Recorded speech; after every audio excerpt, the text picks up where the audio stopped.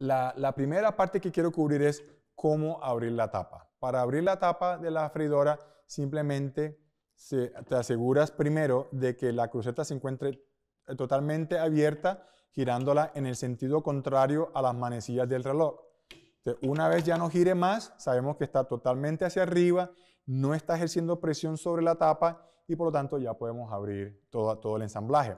Entonces, para abrir la tapa, simplemente colocamos presión sobre el brazo y levantamos, levantamos la, chapa de la tapa.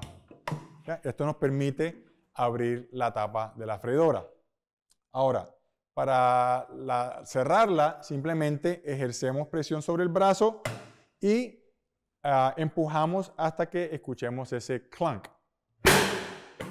Ya en este momento la tapa se encuentra cerrada y aquí ahora lo que hacemos es ejercemos presión sobre, eh, el, sobre, la, sobre la olla, girando totalmente la cruceta hasta que no dé más. ¿okay?